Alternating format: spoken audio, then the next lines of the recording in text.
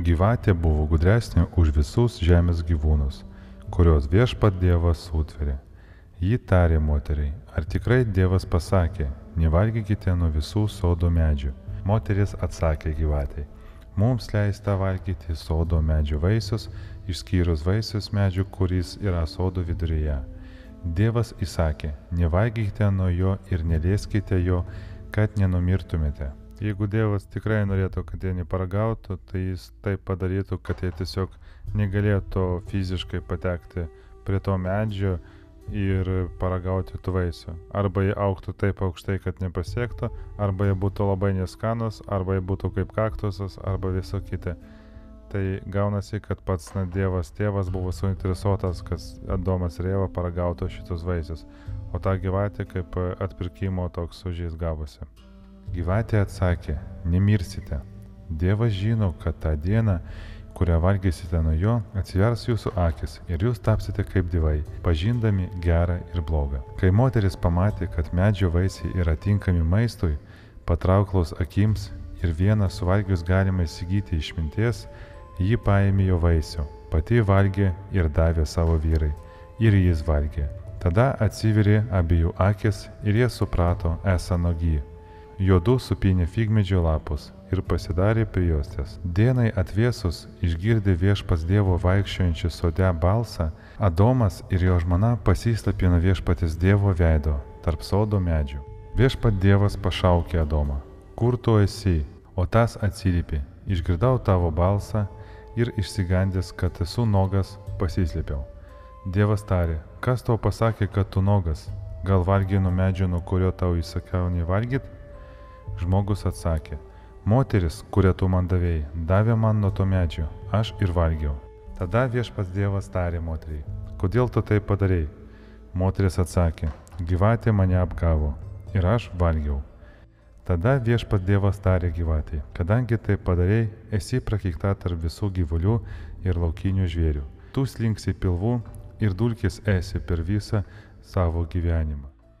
Nu, čia Dievas įdomiai prakeikė šitą gyvatę. Iš vis įdomi, kad jis pradėjo prakeikinėti nuo iš vis nuo pirmos klaidos.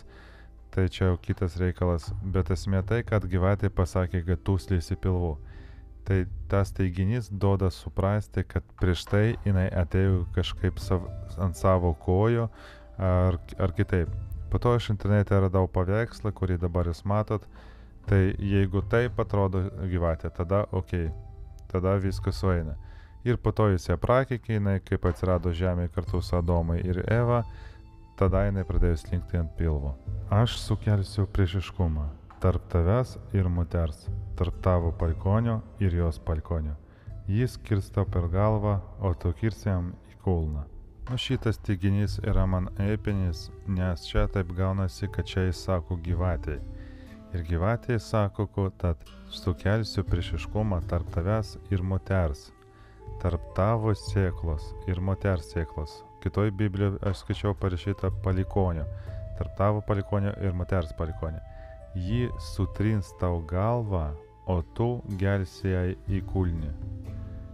E, nu čia gaunasi, kad dar palikoniai tarp to, kaip mes matom, e, nu, pavadinami reptiloido ir moters, kažkokie palikoniai bus, ir jie tarpusavį turės priešiškumą. Tai vat, aš šitą suprantu iš šito sakinio. Moteriai jis tarė, aš padauginsiu tavo neštumo vargus ir su skausmu tu gimdysi vaikus. Tave trauks prie tavo vyrų, o jis tau viešpataus.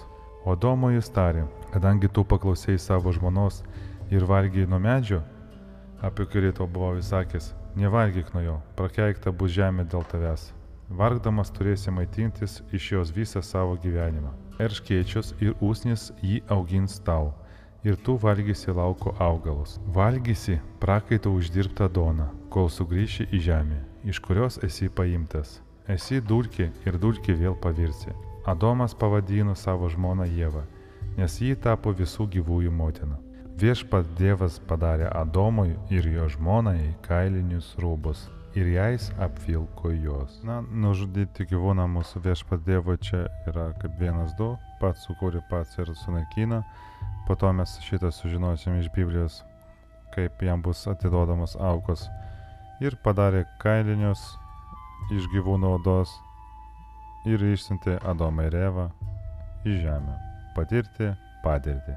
Tada viešpat Dievas tarė, štai žmogus tapo kaip vienas iš mūsų, pažindamas gerą ir blogą.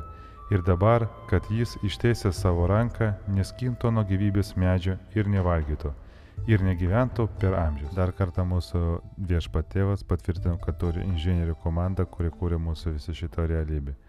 Anksčiau jaučiu vadino jas angelais. Todėl viešpats Dievas išvarė jį iš Edeno sodo dirbti žemė iš kurios jis buvo paimtas. Išvaręs žmogų į rytus nuo Edeno sodų viešpats pastatė cherubus su švitruojančiu ugniniu kardu, saugoti kelią prie gyvybės medžio. Žiūrint iš nušvitusio žmogaus taško, tie cherubai randasi mūsų galvoje. Jie yra du. Čia yra tas gerasis aš ir blogasis aš, kurie saugo mus nuo Edeno sodo. O Edenas sodas randasi mūsų viduje ir mes ten galim patekti, kai nugalėsim šitos du cherubus. I am not the things my family did. I am not the voices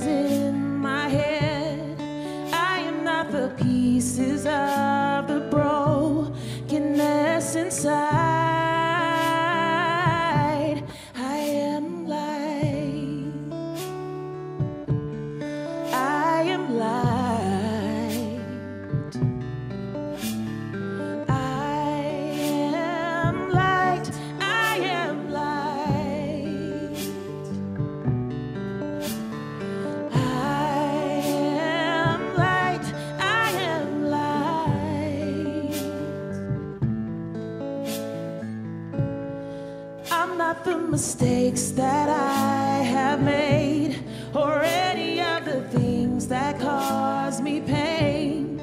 I am not the pieces of the dream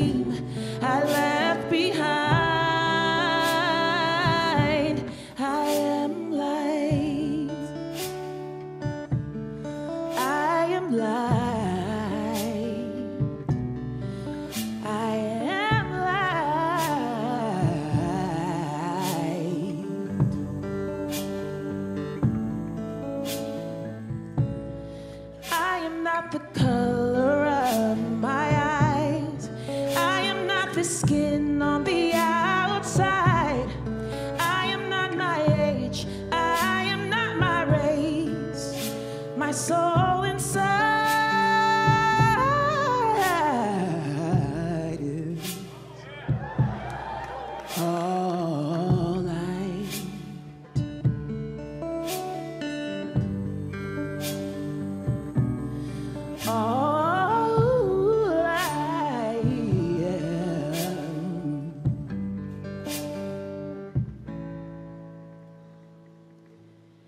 I am divinity defined. I am the God on the inside. I am a star, a piece of it all.